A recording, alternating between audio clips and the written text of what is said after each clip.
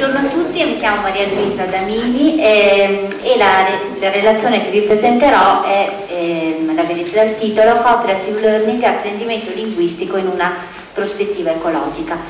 E, ehm, da dove nasce questa relazione? Nasce dal, due, da due strade, diciamo così, intanto dall'esperienza di insegnamento. Io insegno da dieci anni nella scuola pubblica, insegno, ho insegnato prima inglese ai bambini della scuola primaria e ehm, insegno, ho insegnato poi italiano ehm, nella scuola secondaria di secondo grado. Al momento sono in aspettativa al congedo per studio perché sto svolgendo il dottorato di ricerca e proprio nel dottorato di ricerca sto lavorando sulle tematiche relative al cooperative learning e al lavoro sulle competenze interculturali. E, ehm, mi sembrava bello introdurre questa, questa relazione con eh, questi versi di Antonio Machado che leggo in italiano perché la mia pronuncia spagnola è pressoché pessima. Viandante sono le tue orme, il sentiero e niente altro viandante non c'è sentiero, diventa sentiero l'andare. Ehm, mi sembrava bello perché questa riflessione mi sembra ci porti bene all'interno dei sentieri della complessità che anche proprio, ehm, come dire, emotivamente ci fanno proprio comprendere come siamo all'interno di un eh, percorso mh, difficile, un percorso in cui eh, le variabili sono tantissime. Non esiste più una direzione di senso verso cui eh, vogliamo andare, vogliamo guidare i nostri, i nostri studenti, ma molteplici direzioni che scopriamo essere sempre interconnesse. Allora, che cosa significa nella società della globalizzazione camminare in una prospettiva ecologica? Dando a questo ecologica il significato profondo, il significato deep di cui parla eh, Leo Van Dier nel suo ultimo testo. Che cosa significa in una prospettiva locale cogliere la specificità accogliendo le differenze? E che cosa significa quindi in ultima analisi riflettere sull'intercultura? Ora questo sembra eh, un ragionamento molto astratto forse un po' lontano dalla pratica quotidiana, no? però sono domande che fanno da sfondo ad ogni tipo di insegnamento linguistico direi, perché insegnare lingua, ci sono studi eh, che sono stati fatti in merito, è chiaro che non è solamente, eh, chi insegna lingua lo sa benissimo, eh, non è solamente insegnare competenze di tipo linguistico, quindi delle abilità di tipo linguistico, ma anche insegnare delle competenze di tipo interculturale, che sono anche linguistiche, ma non solo. Allora, ehm, per iniziare questa nostra riflessione, bella anche questa affermazione di Maria Angela Giusti, che eh, conoscerete sicuramente come esperta della pedagogia interculturale. La pedagogia interculturale rappresenta i primi passi per fare proprio un pensiero complesso che è alla base di qualunque percorso di comunicazione. E penso che eh, questa riflessione eh, possa proprio aiutarci nella necessità quotidiana per chi lavora in contesti mh, eterogenei, dopo vedremo meglio cosa si intende per contesti eterogenei dal punto di vista culturale, la necessità, dicevo, di fare e di vivere l'intercultura per educare ad apprendere, in particolare in campo linguistico in una realtà che cambia, quindi è fondamentale educare ed educarci a leggere le connessioni all'interno del mondo complesso, ovvero a dare un senso a quell'inter che lega la cultura, che lega le culture, che come sottolinea Mantovani è oggi immediatamente plurale anche nell'esperienza quotidiana che ne facciamo. Allora, ehm, Cosa si cercherà di fare in questo intervento? Lo scopo è quello di dare delle piste operative su cui poi eh, spero ci sia il tempo di discutere eh, per costruire dei percorsi di apprendimento eh, in una prospettiva ecologica. Sicuramente la realtà in cui dell'insegnamento, siete molti, la realtà di insegnamento che ci si trova, ci si trova con, quotidianamente a vivere è sicuramente diversificata per ciascuno, c'è chi lavora nella scuola pubblica, chi lavora nelle scuole di lingua private, quindi sicuramente eh, le situazioni sono diversificate. Quindi anche i percorsi di apprendimento cercheranno un po' di essere modulati rispetto a queste situazioni diversificate Io spero comunque che ehm, ci sia comunque per tutti la possibilità di trovare dei suggerimenti su cui poi speriamo appunto ci sia il tempo di, di discutere proprio per ehm, riflettere sulla nostra pratica quotidiana di ehm, realizzare il processo di insegnamento-apprendimento. La sfida quindi è quella di superare attraverso questo tipo di metodologia l'inadeguatezza delle due risposte più comuni alla sfida posta dalla multiculturalità, l'etnocentrismo e il relativismo e eh, di superare anche quel eh, multiculturalismo a mosaico che è lontano dall'idea di ecologia. Allora, intercultura ed ecologia, la prospettiva ecologica. La prospettiva ecologica è quella che accoglie le diversità, le contestualizza e le valorizza all'interno di un senso culturale ampio, complesso, interrelato, dove la cultura viene vista come spazio di scambio. Nello stesso tempo la prospettiva ecologica sottintende un dinamismo delle parti in gioco. Il chi sono io è collegato al chi sei tu e ogni cambiamento di risposta alla prima domanda non può non cambiare la risposta alla seconda e viceversa.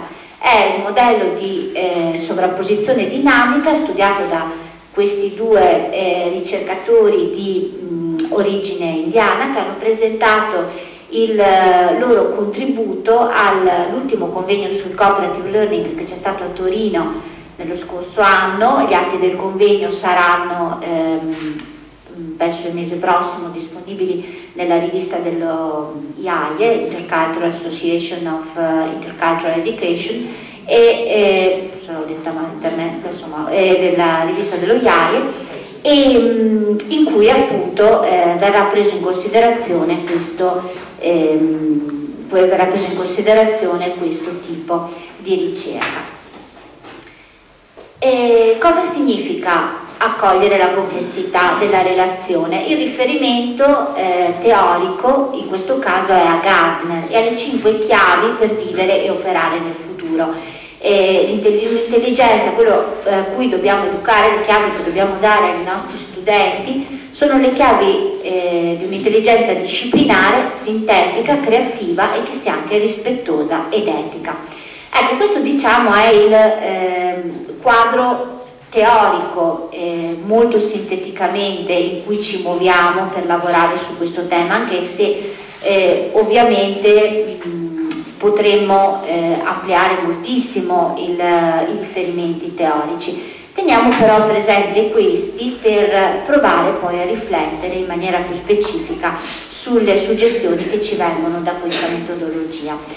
Il cooperative learning, io non mi sono soffermata molto sulle definizioni del cooperative learning perché penso che per gli insegnanti di lingua sia una pratica abbastanza usuale e lavorare eh, utilizzando questo tipo di metodologia pur tenendo presente che proprio come riferimento generale come diceva appunto prima ehm, ehm, Christopher Humphries, effettivamente cooperative learning è essenzialmente estremamente diverso dal far lavorare gli studenti in gruppo.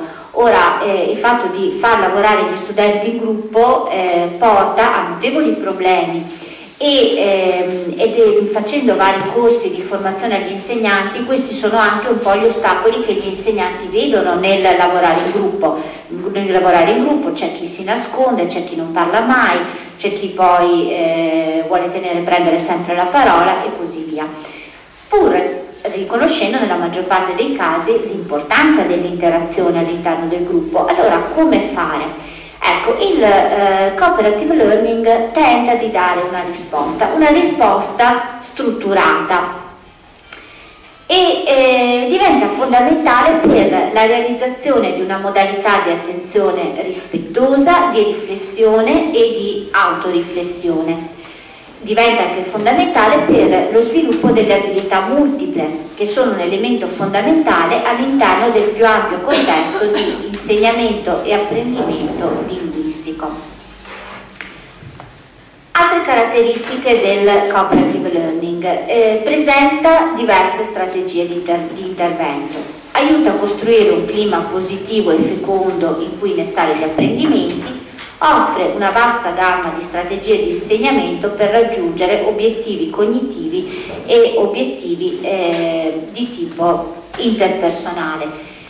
Dicevo diverse strategie di intervento, oggi noi ne prenderemo in considerazione in particolare due, cioè eh, la via della Group Investigation proposta da Sharon e eh, la via invece della Complex Extraction che è stata proposta da Cohen, da Elizabeth Cohen, che è deceduta pochi, un paio d'anni fa mi pare, e che eh, viene ora seguita invece da eh, Rachel Lotan, che è ehm, la, la ricercatrice che eh, sta continuando il lavoro eh, di Elisabeth Cohen. E, ehm, dicevamo appunto ci sono diverse strategie di, di intervento, eh, altre strategie di intervento fanno riferimento per esempio a, a quelle proposte dai, dai, fratelli Johnson o a quelle proposte da, eh, da Slevin e, ehm, e altri insomma. E ehm, la cosa interessante è che eh, queste strategie eh, danno appunto agli insegnanti, a chi lavora, la possibilità di avere una sorta di eh, bacino di risorse, diciamo così, da poter utilizzare eh, per gestire l'eterogeneità all'interno dei propri gruppi classe e all'interno dei propri gruppi di lavoro. Ehm, una metodologia che eh, si declina in tante strade, ma che eh, sono accomunate dalla, eh, volontà di raggiungere obiettivi cognitivi e obiettivi relazionali che possono essere confrontati e confrontabili. Gli obiettivi cognitivi sono un apprendimento di tipo concettuale, una soluzione creativa dei problemi, lo sviluppo di abilità cognitive di ordine superiore, ovvero uno sviluppo del pensiero critico, la conoscenza e mantenimento e miglioramento delle abilità fondamentali, padronanza linguistica orale, obiettivi relazionali, relazione positiva di intergruppo, socializzazione degli studenti e assunzione di ruoli adulti.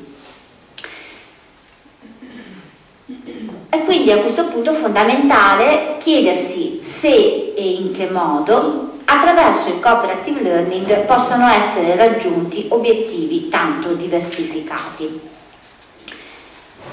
È possibile tentare di dare una prima risposta ehm, riflettendo su eh, questi due elementi fondamentali. Innanzitutto il fatto che eh, la ricerca eh, sui modelli di cooperative learning ha verificato la validità di tutti i loro assunti di base sugli effetti positivi dell'apprendimento in interazione sul comportamento scolastico degli allievi personale e sociale. Sono stati fatti vari studi in merito, molti di questi sono stati riassunti nel testo di, nei testi di Comoglio, che è uno dei massimi esperti italiani, forse il massimo esperto italiano di cooperative learning, e eh, effettivamente eh, il lavoro attraverso modalità eh, interazionali però strutturate ha dato sicuramente risultati di tipo positivo.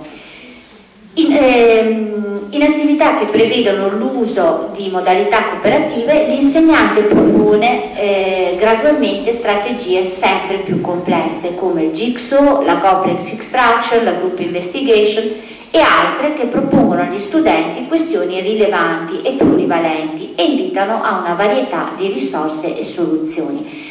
Eh, mi sembra interessante sottolineare proprio questo delle questioni rilevanti e plurivalenti, cui spesso, eh, su cui molto spesso è importante concentrarsi come insegnante, e anche a questa varietà di risorse e soluzioni. Prima dicevamo tante strade, è un po' eh, questo, no? eh, lo vedremo poi anche lavorando, vedendo in maniera più specifica le caratteristiche della group investigation eh, l'invito attraverso questa metodologia a co-costruire le risposte e anche a co-costruire le domande, che è altrettanto importante. Porsi domande è eh, sicuramente il momento principale del percorso di insegnamento-apprendimento ed è anche quello che eh, piano piano anche si perde, no? chi ha magari esperienza anche di... Eh, genitori, forse vede come i bambini mano a mano crescono, pare che facciano meno domande. Io ho bambini piccoli che mi riempiono di domande, lavoro con gli adolescenti a scuola che devo stimolare continuamente perché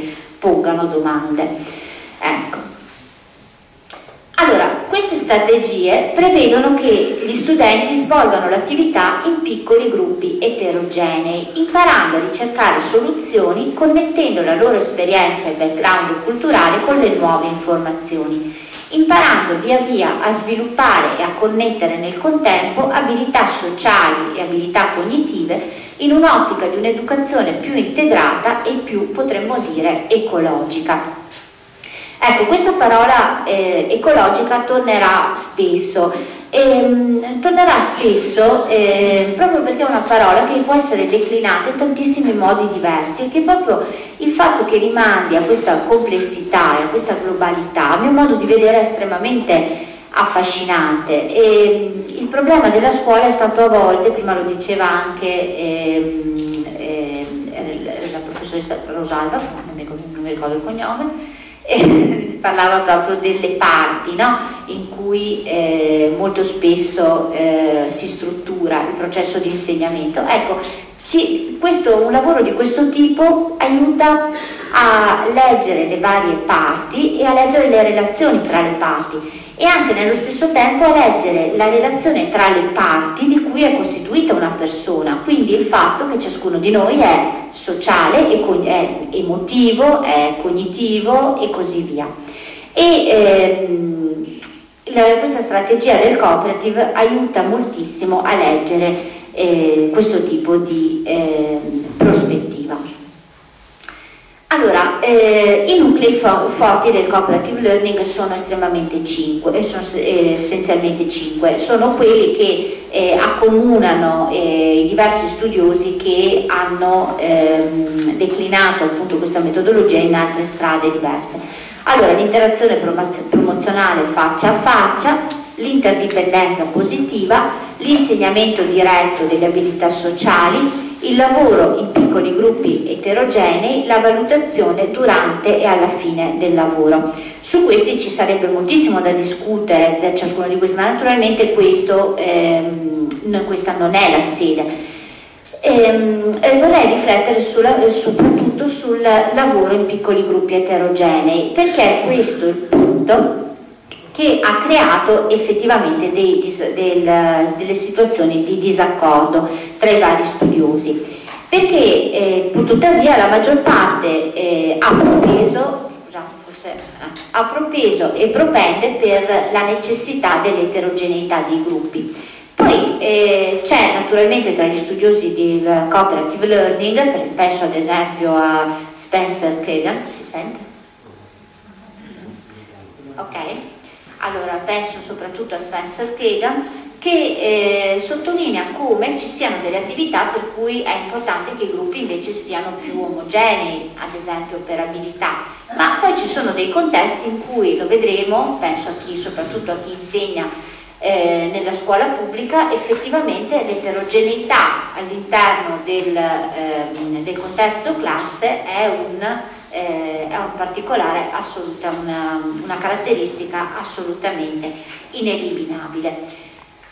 Ehm, anche su questo, eh, gruppi eterogenei e gruppi omogenei, sono stati fatti molti studi. Ora, mh, mi pare nel 2006 eh, sia venuto Giorgio Chiari qui e eh, mi mi, confrontandomi con lui anche prima di questa intervento diceva che appunto aveva lavorato, aveva dato alcune indicazioni rispetto ad alcuni studi che erano stati fatti su gruppi eterogenei, gruppi omogenei.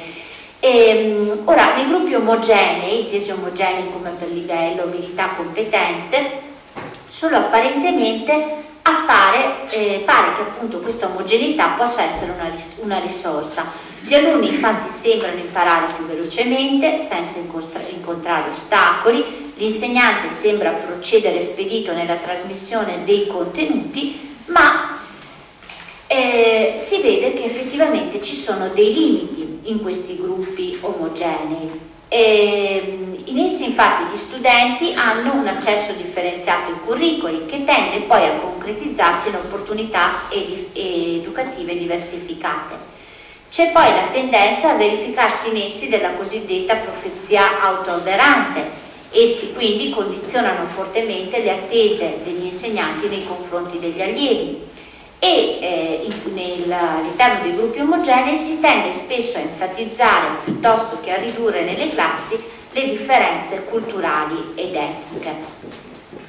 Allora, eh, dicevamo un piccolo passo indietro. Che cosa si intende per gruppi eterogenei? E la letteratura li definisce proprio così, gruppi che mostrano differenze interne di background, di livello di capacità, di genere. È interessante notare che eh, il cooperative learning, alcuni filoni del cooperative learning eh, che hanno, stati, mm, hanno sede diciamo, particolare negli Stati Uniti, e qui sto pensando in particolare agli studi di Elizabeth Cohen, sono stati eh, pensati pro, pro, proprio, è stata fatta ricerca proprio all'interno di quei contesti in cui l'eterogeneità eh, rappresentava un problema, cioè la differenza di status culturale rappresentava un problema.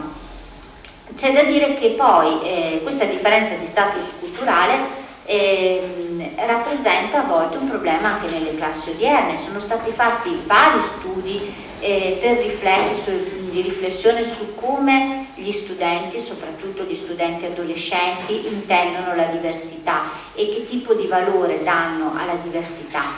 Ora, ehm, riferendosi a studenti adolescenti, è chiaro che ehm, questa riflessione sulla diversità diventa molto forte e eh, fa riferimento anche ad una particolare fascia d'età che stiamo analizzando, ma è sicuro che eh, una riflessione di questo tipo induce anche altri tipi di eh, riflessioni che fa, spaziano anche nel campo dell'intelligenza rispettosa ed etica eh, di, di, di memoria gardneriana di cui eh, dicevamo prima.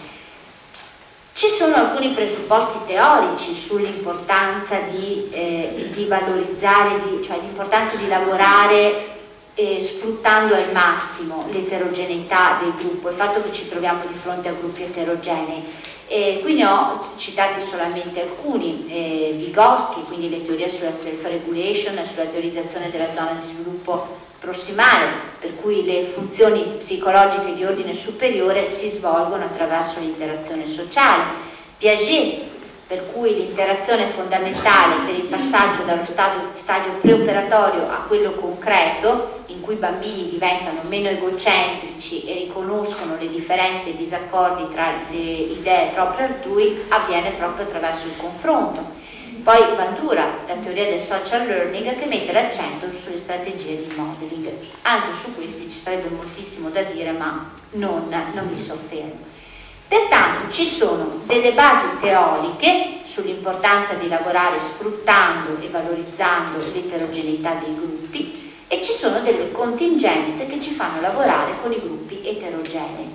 Queste contingenze possono essere riferite ad esempio per quanto riguarda la scuola pubblica al crescente afflusso di eh, studenti stranieri all'interno dei gruppi classe eh, in, eh, a, tutte, a, a, tutte, le età, ehm, a tutte le età scolastiche, ma eh, per chi lavora invece nelle scuole di, di, di lingua lavorare con l'eterogeneità culturale chiaramente è un dato di fatto.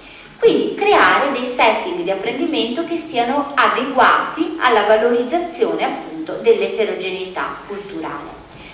Allora, ehm, dicevamo, eh, lavorare, eh, questi setting di apprendimento sono riconosciuti eh, nel, ehm, nel, cooperative learning. Ci sono poi dei problemi concreti no? nella gestione del lavoro di gruppo, quanto deve essere grande il gruppo, quali modalità seguire per la formazione dei gruppi, quanto tempo possono durare i gruppi, sono se sono del tutto da escludere attività individualistiche e eh, competitive. E qui questi li ho inseriti proprio perché solitamente sono le domande che eh, poi vengono più spesso poste dagli insegnanti e con alcune risposte. Il gruppo dovrebbe essere tanto più piccolo quanto più gli studenti non possiedono buone qualità o abilità comunicative formare i gruppi diventa, può essere eh, fatto in base a vari criteri, poi vedremo qual è un criterio che può eh, valorizzare l'eterogeneità. Eh, questi, dicevamo prima, ci sono vari criteri, scelta casuale, scelta dell'insegnante, autoselezione, ognuno, ognuno di questi ha dei limiti, ha dei vantaggi. I gruppi vanno tenuti insieme fino a raggiungere un successo, le attività competitive individuali possono vivere in, sana, in, virare, scusate, in competizione sana tra i gruppi. Quando è che eh, un gruppo diventa inefficace? Eh, ci sono dei, eh, delle situazioni in cui è bene pensare che effettivamente non ha senso lavorare in gruppo, non ha senso utilizzare il cooperative learning. Eh, su, questa è una domanda che viene posta molto spesso. In realtà ci sono delle situazioni in cui ehm, faccio un passo indietro.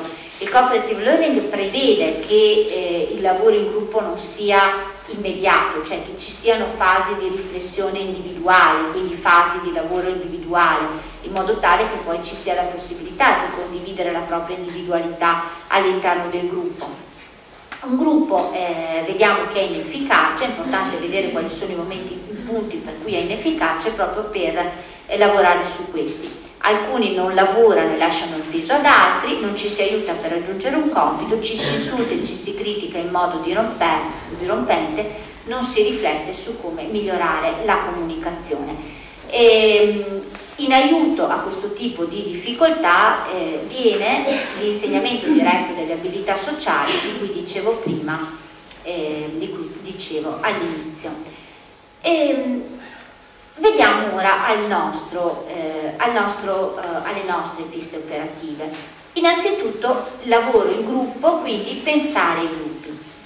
I gruppi devono essere pensati dall'insegnante guardando alla globalità del compito da svolgere, offrendo una pluralità di stimoli in modo che più abilità possano essere esercitate e riconosciute come tali. Quindi anche il compito che vogliamo proporre ai nostri studenti, l'attività che vogliamo proporre ai nostri studenti può essere intesa, diciamo così, ecologicamente.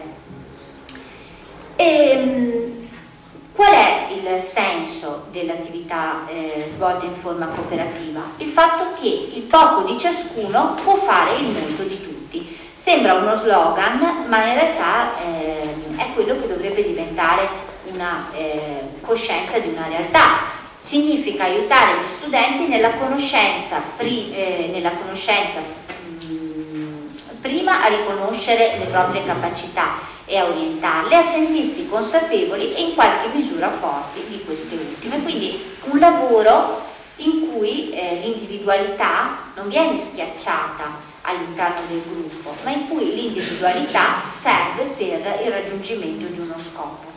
La coscienza di possedere un'identità è un elemento imprescindibile per accogliere la tua identità e per arrivare ad una negoziazione di punti di vista diversi. In questo momento, pensando al lavoro in particolare con gli adolescenti, facevo un accenno prima, vediamo come questo diventi particolarmente educativo in una fase dello sviluppo in cui si educa proprio al raggiungimento eh, di un'identità. Allora, eh, due piste operative. Allora, fare ricerca utilizzando la lingua, il metodo della group investigation, e la seconda, la context extraction e eh, la scoperta delle abilità multiple. Allora, fare ricerca utilizzando la lingua. Cosa propone eh, questo tipo di, ehm, di metodologia? Eh, il metodo della group investigation è stato proposto da Sharon, eh, Sharon and Sharon, che sono eh, due studiosi di cooperative learning, adesso uno di questi in realtà eh, si occupa d'altro, che eh, lavorano nell'Università di Tel Aviv. Allora, ehm, si tratta di una strategia di apprendimento cooperativo in cui l'interazione e la comunicazione in classe vengono integrate con il processo di studio dei contenuti scolastici. Gli studenti assumono un ruolo attivo stabilendo i propri obiettivi di apprendimento, suddividendo con l'aiuto dell'insegnante il lavoro all'interno del gruppo. Prevedono momenti di lavoro individuale a scambi in coppia e ad un'integrazione finale dei risultati a livello del gruppo classe. Così facendo gli studenti vengono guidati da un lato nello sviluppo di competenze eh, linguistiche cognitive e naturalmente di competenze di tipo sociale. Vediamo sempre come c'è proprio questa unione molto forte di questi due, eh, di questi due aspetti. In quest'ottica l'uso della lingua diventa situato e significativo. Non esiste più la netta divisione tra la lingua per l'uso e la lingua per lo studio e con questo non si vuole eh, disconoscere l'importanza della, della, della, presenza di microlingue all'interno del, eh, del, percorso di eh, lavoro e del percorso di insegnamento della lingua dello studio, ma quello che è fondamentale riconoscere in questo, che peraltro è sottolineato anche da eh, Vallier, Vallier nel, nel, suo ultimo testo è proprio questo mh, apprendimento situato della lingua che eh, situato è nello stesso tempo significativo. Quindi lo studente viene visto come persona portatrice di significati, di punti di vista, di prospettive, di desideri, di aspirazioni, sinteticamente potremmo dire di un sistema culturale che attraverso il medium linguistico può condividere con altri per reinterpretare, mediare e così via. L'obiettivo di lavoro è quindi eh, quello da parte degli insegnanti di presentare un problema che diventa un oggetto della ricerca dei diversi gruppi e promuove la collaborazione. Allora, ora vedremo eh, molto brevemente eh, le fasi del lavoro e poi vedremo quali sono le fasi di lavoro secondo questa metodologia e poi vedremo un'applicazione pratica eh, di questo tipo di eh, metodologia ad un problema, ehm, ad un contesto di apprendimento specifico. Allora, eh, di fronte al tema della ricerca, gli studenti esaminano il materiale che hanno a disposizione, pongono le domande in relazione ad esso e le suddividono in categorie che diventano i sottoargomenti. Gli studenti formano il gruppo studiando il sottoargomento da loro scelto. In un secondo momento pianificano le loro ricerche, i membri di ogni gruppo preparano cooperativamente lo svolgimento dell'attività, decidono come condurre la ricerca e come dividersi il lavoro. Conducono quindi le ricerche, eh, raccolgono e analizzano le informazioni, riportano ciò che hanno scoperto, giu giungono a delle conclusioni e discutono in itinere il proprio lavoro in un, in un quarto momento pianificano le loro presentazioni, quindi pianificano come presentare gli esiti delle, delle varie, di quanto hanno scoperto e ehm, presentano poi ehm, le, loro, appunto, ehm, le, loro, le, loro, ricerche.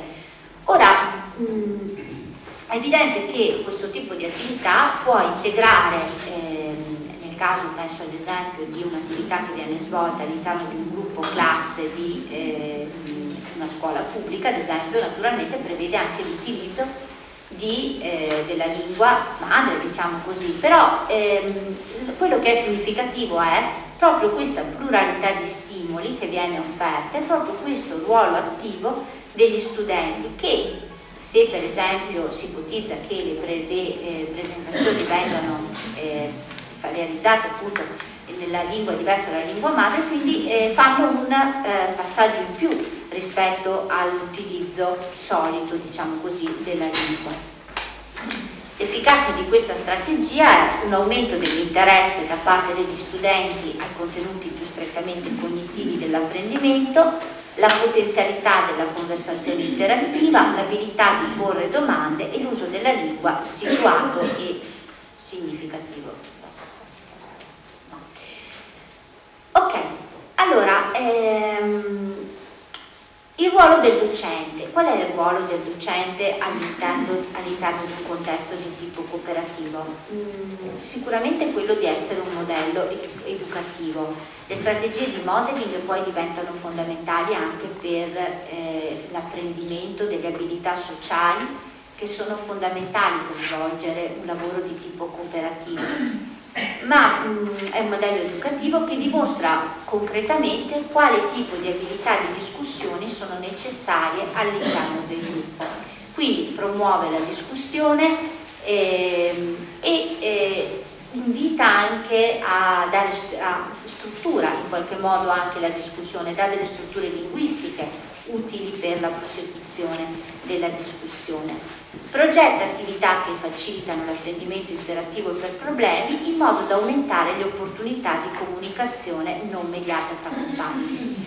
E le proposte, per esempio, eh, per quanto riguarda questo, eh, il riferimento va bene, è, questo è il raggio 4 stadi, è una um, proposta, ma dopo avete, avete, la fotocopia, è una proposta di, eh, di Sharon, una, diciamo un'attività di gruppo in cui eh, si guidano gli studenti a eh, riflettere su alcuni principi cardine che devono regolare la comunicazione cioè la concisione, l'ascolto, la, la, capacità di concisione, scusate, la capacità di ascolto, la capacità di riformulare, la capacità di dare un proprio contributo. E vedendo il, ehm, adesso sto passando la fotocopia, vedete anche come questa, in un contesto poi di apprendimento della lingua, possa essere utilizzata proprio anche come, come un'attività possibile proprio per un contesto di eh, apprendimento linguistico. Allora, vi dicevo un esempio di pianificazione di un'attività, un esempio realizzato di una pianificazione di attività eh, con la Group Investigation. Un'unità didattica sulla poesia. Esempio, che cosa rende poetica una poesia? Allora, la classe viene divisa in gruppo, ad ogni gruppo viene affidata una poesia che deve leggere il gruppo su cui si deve proporre, proporre un breve commento. Allora, nella prima fase la classe stabilisce i sottoargomenti e si organizza in gruppi di ricerca, quindi, data la poesia, produrre delle domande significative su questo.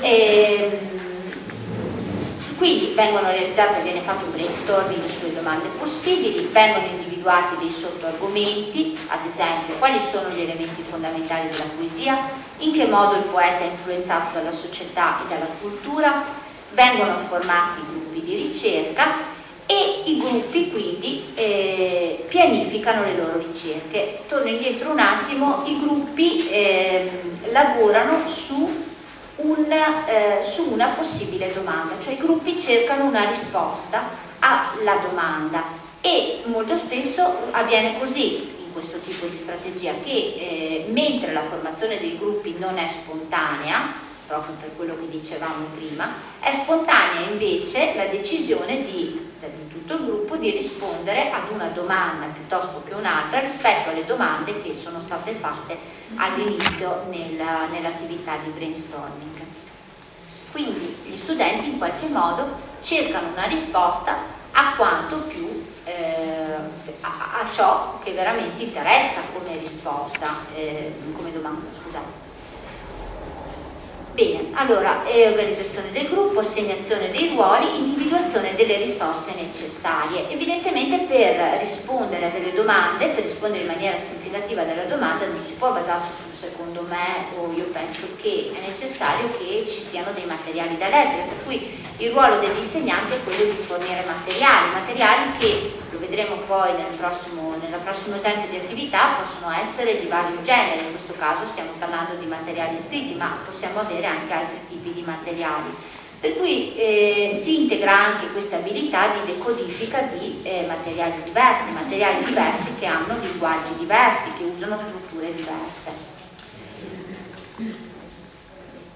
E I gruppi conducono le ricerche, l'insegnante intanto fatto da supervisore, i gruppi pianificano le loro presentazioni, i gruppi poi effettuano la loro presentazione. Questo ruolo di supervisore dell'insegnante, vedete che c'è in in tutte le fasi, è eh, fondamentale. All'interno di un contesto di lavoro cooperativo l'insegnante ha effettivamente più tempo, mettiamolo tra virgolette, di eh, osservare gli alunni e osservare varie risposte degli alunni.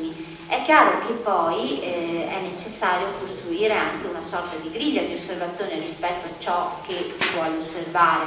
L'ideale sarebbe, ed è ipotizzato in particolare da, dai Johnson, che eh, ci sia un contesto di lavoro in cui eh, più insegnanti utilizzano lo stesso tipo di metodologia e quindi possono condividere griglie di osservazione che cosa osservare. E, ehm, bene, e poi abbiamo questa valutazione del lavoro. In una, una, in una prima lezione c'è una fase di coppie di gruppo. In che modo la conduzione della ricerca di gruppo vi ha aiutato a conoscere qualcosa di nuovo sulla poesia, che cosa sai di nuovo rispetto all'inizio, quindi questo connettere tra di loro le informazioni.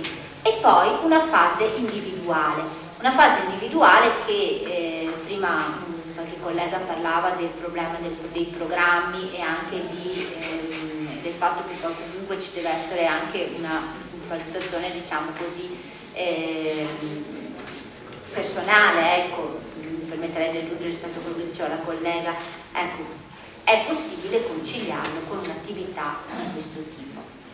Allora, eh, le attività eh, esemplificate eh, possono essere, ehm, possono anche essere, ehm, fare possono anche essere riempite quindi di obiettivi di tipo cognitivo se condotte in un contesto di apprendimento di una seconda lingua, naturalmente graduando le difficoltà, il numero di parole, i tempi e così via. Allora, ehm, qui ecco solamente eh, due parole sull'importanza di fare domande all'interno di tutti gli apprendimenti, ma in particolare direi dell'apprendimento linguistico e eh, la, la, sulla possibilità di eh, cercare insieme delle risposte secondo questo schema domande, discussione, informazione, interpretazione, conoscenza. L'idea è quella che eh, all'insegnante non compete di dare tutte le risposte, ma di aiutare a costruire delle domande e di aiutare a cercare quali sono gli strumenti per ottenere delle risposte. In questo cercare, di, eh, cercare le risposte c'è un scatto in più, dicevo prima, del, dell'apprendimento linguistico. Bene, eh, vado un po' veloce perché vedo che è già mezzogiorno e 5. Ecco. E, 5, scusate. Allora, eh, dicevo all'inizio due strade, da un lato questo metodo, il fare ricerca insieme, dall'altro la complex, la complex extraction. Allora, eh, cos'è questa metodologia? È un programma partito vent'anni fa nell'Università di Stanford con Elizabeth Cohen. Eh, attraverso questo programma si prefigge, ci si prefigge di realizzare l'equità in classe studiando le cause sociali delle disuguaglianze di base e costruendo delle pratiche educative basate sulla, ehm, sulla cooperazione. È una modalità che muove dal riconoscimento della pluralità delle intelligenze, eh, il riferimento è sempre a Gartner. Cosa dice sostanzialmente la Complex Instruction? Che eh, la formazione di piccoli gruppi anche se eterogenei, comunque in uh, generale tende a eh, favorire i, eh, gli componenti più forti dei gruppi, cioè quelli che già hanno uno status elevato a livello di riconoscimento sociale ma anche di eh, riconoscimento culturale, diciamo così sono i più bravi. Il problema qual è? Quelli più bravi rimangono sempre più bravi, quelli meno bravi rimangono sempre meno bravi. E studi fatti da Elizabeth Cohen hanno notato che comunque il cooperative learning anche se cerca di eh, opporsi a questo tipo di eh, stato di cose di fatto non riesce, non riesce in realtà ad andare fino in fondo. Quindi qualcosa bisogna cambiare e eh, il qualcosa che bisogna cambiare Elizabeth Cohen lo riconosce nel, eh, nella pluralità delle intelligenze e quindi nell'importanza di costruire compiti che prevedano l'uso di abilità multiple e che abbiano quindi queste caratteristiche. Più di un modo o di una risposta per risolvere un problema, siano di per sé interessanti e gratificanti, permettano ad alunni diversi di dare contributi diversi, usino strumenti multimediali, coinvolgano più sensi e richiedano una varietà di abilità e comportamenti, siano impegnativi. Su questo strumenti multimediali non c'è solamente il um, riferimento a internet, computer eccetera, ma proprio ai vari linguaggi, quindi arte, quindi musica e così via. Secondo Elizabeth Cohen un compito non funziona bene, questo ci interroga, secondo me come insegnanti, quando ha solo una risposta esatta, può essere eseguito con più velocità ed efficienza da una persona piuttosto che da un gruppo, è di livello troppo basso, implica la semplice memorizzazione o apprendimento di routine. Lo scopo di questo tipo di attività è quello di combinare le aspettative di ciascuno le aspettative proprie in quanto insegnante o di ciascuno studente verso se stesso, di ogni studente verso gli altri, per poi ricombinarle e quindi ehm, di creare un ventaglio di aspettative, dando una pluralità di, ehm, diciamo, di, ehm, di, di, strumenti, ciascuno può sperimentarsi in, ehm, in una tipologia di apprendimenti diversi. Le caratteristiche fondamentali sono tre, quindi compiti necessitano di diverse abilità intellettive, nessuno ha tutte queste abilità, ognuno ha qualcuna di queste abilità, perciò il compito deve per forza essere eh, svolto insieme. Anche qui eh, un esempio di attività che è stata realizzata, effettivamente eh, l'esempio, io ne ho guardati vari esempi, questo anche se è forse più datato perché è del 1989-90, mi sembrava quello eh, più significativo, perciò ho voluto proporvelo ugualmente. Allora, ehm, agli studenti viene proposto di riflettere su un tema, questo era il tema proposto, l'urgente annivente il periodo tra il 1919 e il 1920. E, ehm, questo è il tema da trattare, quindi eh, l'insegnante decide di eh, lavorare su questo tipo di tematica con gli studenti. Allora propone eh, e, e decide di proporre modalità di tipo cooperativo. La prima pianificazione è questa, eh, sono tre lezioni, tensioni post-guerra, la Repubblica al potere, tensioni sociali e trasformazioni, l'insegnante fa una lezione di tipo introduttivo, poi dà dei testi che vengono approfonditi dagli studenti in gruppo questi testi vengono approfonditi, eh, ci sono, dicevamo prima, vedete una, una, lista di obiettivi che si devono raggiungere, un elenco di materiali da consultare e un elenco di procedure da eh, seguire, per cui hanno questi testi, sanno che su questi testi, adesso io qui ho solamente messo questo ma era spiegato particolarmente bene poi come veniva realizzata l'attività, poi su questo tipo di testi gli studenti lavoravano, quindi li riassumevano oppure facevano delle domande oppure facevano degli schemi e così via e lavoravano appunto comunque su questi testi che venivano forniti dall'insegnante e questo è un primo tipo di pianificazione. Secondo esempio di pianificazione invece usando la complex extraction. Allora, introduzione con otto slide che presentano attraverso opere artistiche dell'epoca il problema, con particolare riferimento all'episodio di Sacco e Vanzetti. Quindi non c'è in questo caso l'introduzione orale da parte dell'insegnante.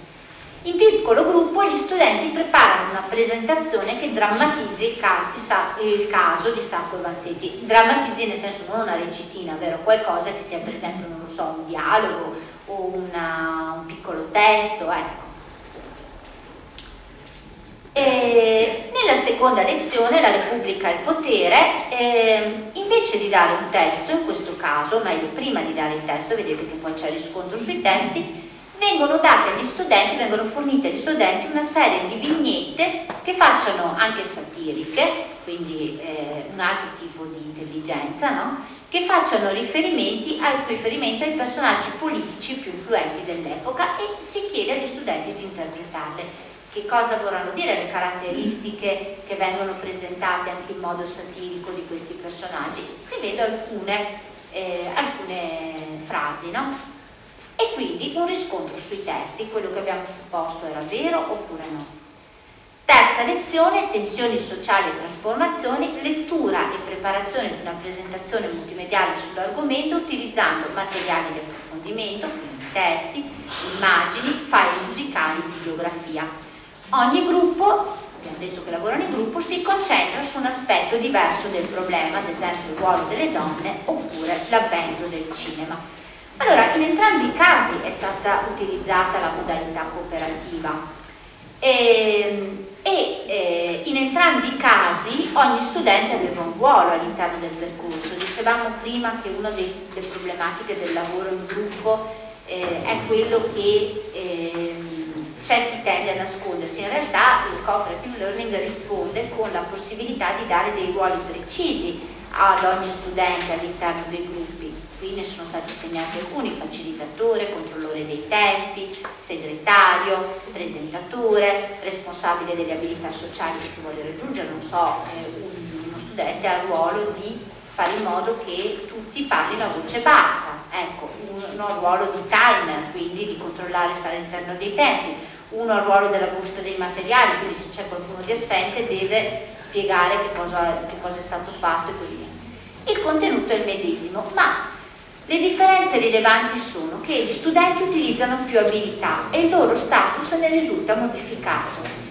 perché molto spesso gli studenti non sono consapevoli delle abilità che possiedono e non sono riconosciuti per le abilità che effettivamente possiedono perché molto spesso non sanno nemmeno di possederle. Non sentono le aspettative dell'insegnante che inizia l'attività per esempio con una semplice affermazione. Uno storico per essere tale deve essere in grado di lavorare su più documenti. Oggi lavoreremo mettendoci nella parte degli storici, per cui mh, mm, non vedremo cosa riusciremo a fare in base a un determinato contenuto, ma ci metteremo nell'ottica di una situazione situata e specifica per utilizzare più abilità devono incrementare l'uso dell'interazione verbale e questo mi sembrava particolarmente significativo perché effettivamente eh, quello che poi viene maturato in questo tipo di lavoro è proprio eh, l'utilizzo, la necessità dell'interazione verbale.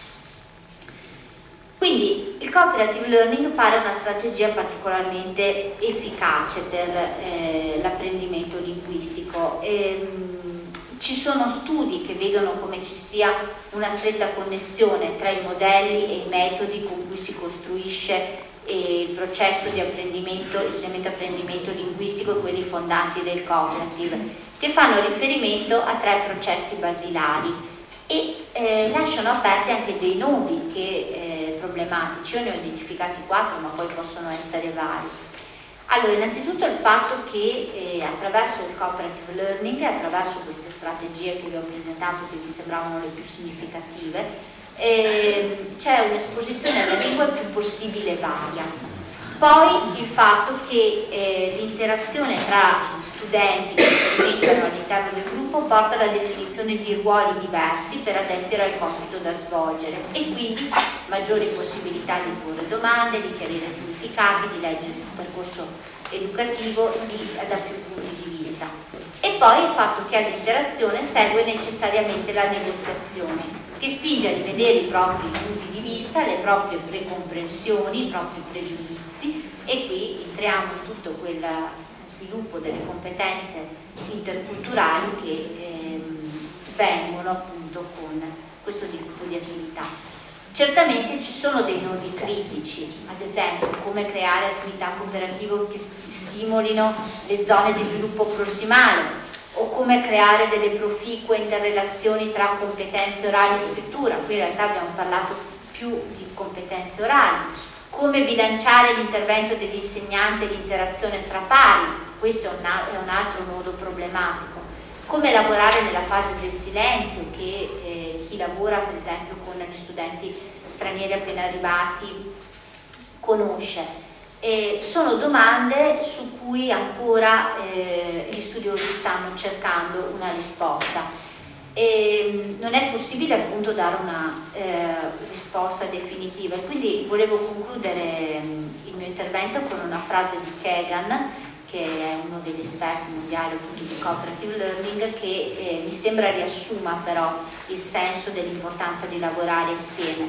Se rimaniamo isolati rischiamo di non vedere la forza della grande foresta che siamo, per cui è quello che eh, questa forza di diventare una grande foresta è quello invitiamo, verso cui invitiamo i nostri studenti.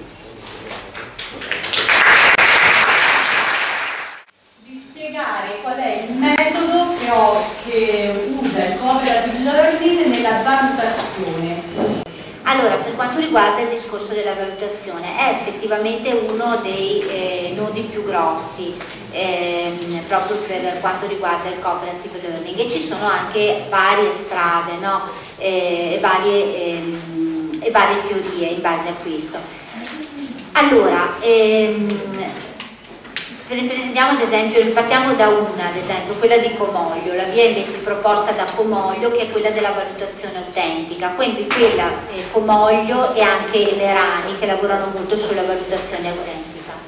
E, in questo caso si prevede di eh, costruire delle eh, prove di verifica che siano situate, cioè che eh, prevedano ehm, l'utilizzo di ehm, non tanto di conoscenze, che cerchino di valutare, di valutare, non tanto le conoscenze acquisite quanto le competenze. Le competenze acquisite nascono dalla capacità di risolvere il problema significativo che è alla base di tutto il processo, ad esempio la domanda eh, base da cui è partito tutto il percorso, la domanda significativa che è stata trovata all'interno degli che è stata eh, pensata con gli studenti. In realtà poi questo tipo di valutazione autentica all'interno della scuola, in particolare della scuola pubblica, risulta difficilissimo perché in realtà il tipo di programma e di programmazione è completamente diverso.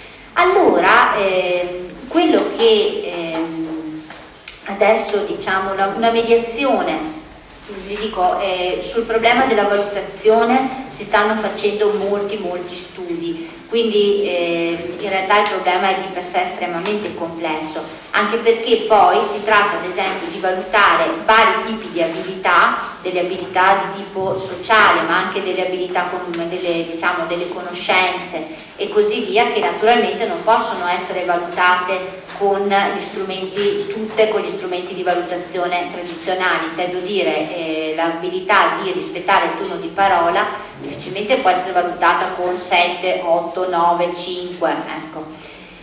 Eh, allora, eh, prima parlavo delle griglie di valutazione, per quanto riguarda questo tipo di, di valutazione è importante fare riferimento a eh, delle griglie di valutazione che contengono gli obiettivi che lo studente, l'insegnante, o meglio il team di insegnanti, perché in realtà il grosso limite all'interno per esempio della scuola pubblica è che magari il cooperative learning lo utilizza l'insegnante di lettere ma l'insegnante di matematica assolutamente no perché non lo ritiene efficace. Quindi è, sarebbe importante costruire delle griglie di valutazione che permettono di vedere il processo con cui si arriva al raggiungimento di un'abilità sociale e quindi viene valutato questo tipo eh, di processo.